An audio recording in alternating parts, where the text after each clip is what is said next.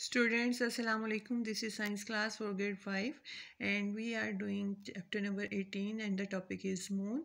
Uh, tomorrow we have uh, did that there is also a gravity on the moon. Uh, gravity को सिर्फ़ हम अर्थ uh, के साथ relate नहीं कर सकते ग्रेविटी का मीनिंग होता है फोर्स ऑफ़ अट्रैक्शन और ये किसी भी सॉलिड बॉडी से जो मैटर है, जो वेट रखती है, उसमें हो सकती है। जैसे अर्थ की अट्रैक्शन चीज़ों को अपनी तरफ़ खींचने की वो फोर्स ऑफ़ ग्रेविटी है ड्यू टू अर्थ और अगर इसी तरह मून पे सन और इस पे सन पे they also have gravity today और topic is also related with this gravity कि जो मून की, चाँद की जो कशिश होती है और जो सूरज की है, उससे रिलेट करता है आज का टॉपिक दैट इज़ टाइड्स इसको शुरू करने से पहले आप, मैं आप बच्चों से ये पूछना चाहती हूँ, या कुछ ऐसे स्टूडेंट्स होंगे जो कराची गए भी होंगे, वो साहिल समंदर पे भी जाते हैं तो वहाँ आपने देखा होगा कि पा, पानी की ऊँची ऊँची लहरें उठती हैं।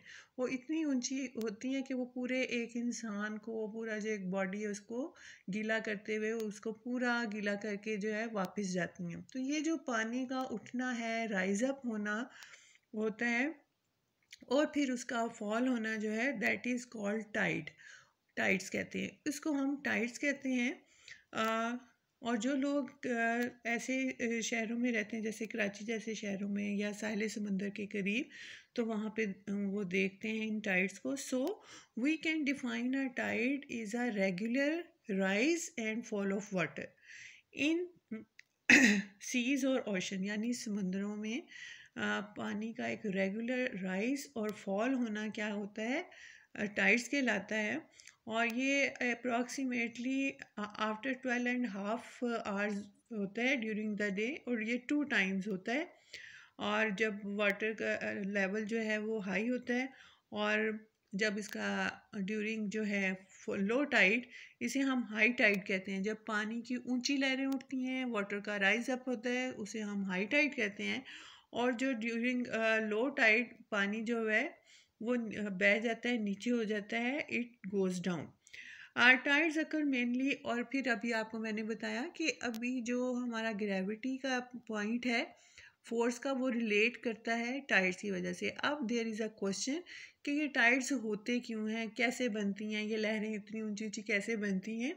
So, it occurs mainly due to the gravity of the moon. ये मून की, चाँद की कशिश की वजह से होता है, और the gravity of sun also affect sun भी जो है उसको अफेक्ट करता है उसकी ग्रेविटी को लेकिन क्योंकि सूरज हमसे बहुत दूर है तो इतना ज़्यादा उस पर अफेक्ट नहीं करता।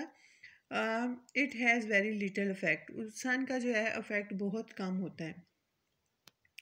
और जो आ, पानी है ओशंस का या सी का वो जो वो उसकी साइड फेस करती है मून को at any time pull upward because of the gravity of moon तो जो उस पानी को जो उसकी तरफ़ फेस कर रहा होता है, उसको पानी को अपनी तरफ़ खींचती है। दिस कॉजेज हाई टाइड और जिसकी वजह से जो है हाई टाइड बनता है।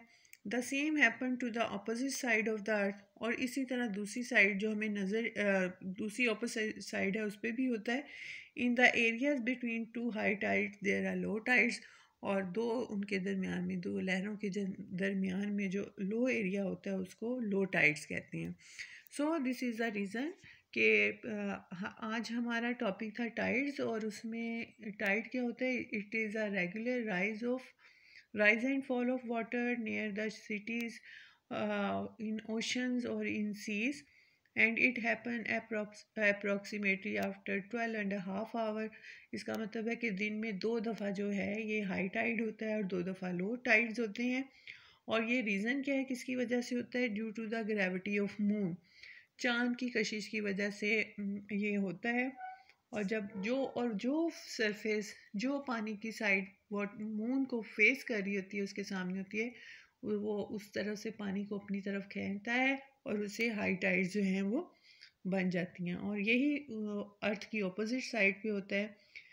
और दो हाई टाइड्स के दरमियान में एक लो टाइड होता है। ये we finish lesson and we did the in this lesson the moon is the natural satellite of the earth the moon is lifeless place where no air no water it has plains mountains and craters the different shapes of the moon as visible to us on the earth are called the phases यानी जो हमें सूरज sorry चाँद की मुख्तलिफ़ conditions मुख्तलिफ़ नज़र आती हैं, कभी हमें फुल मून नज़र आता है, कभी हाफ़ नज़र आता है, कभी बहुत बारीक सा नज़र आता है तो ये जो फेजेस फेस हमें नज़र आते हैं इस आसमान पे, उन्हें हम कहते हैं faces of moon the gravity on the moon is one six on the earth और तो जो ग्रेविटी है मून पे वो one six of the gravity of earth है।